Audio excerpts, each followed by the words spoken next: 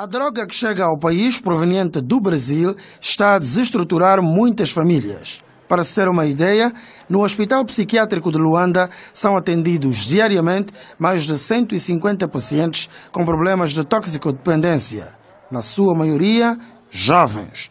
Os especialistas admitem que o consumo excessivo de cocaína e outras drogas são a razão para estes números. E os jovens sempre vêm acometidos por uh, problemas mentais devido ao consumo de álcool, de uma forma excessiva, e drogas. E essas drogas temos a cannabis, que é a lhamba, e também já está a aparecer a cocaína.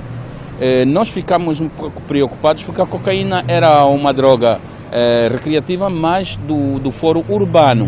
Mas nós já estamos a encontrar jovens a consumirem do, do suburbano. Esses quadros de conduta eh, vão criando então eh, delinquências, a criminalidade aumenta, eh, estimulação para a prostituição e, e muitos deles, eh, por não terem eh, uma capacidade tal de resposta, em termos da sua propensão, vêm parar aqui à psiquiatria com quadros graves psiquiátricos.